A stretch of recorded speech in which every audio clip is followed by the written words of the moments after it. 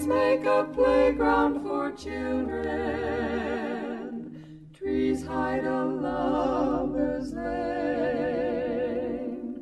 Trees have been kind to the old folks. Trees have not lived